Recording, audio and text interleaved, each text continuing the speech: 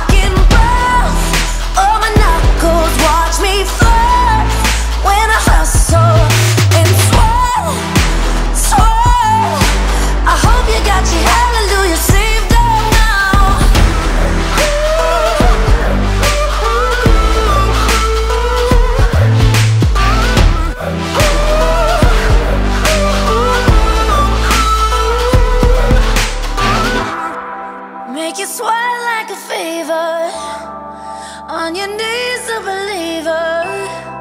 So sweat. I hope you got your hallelujah.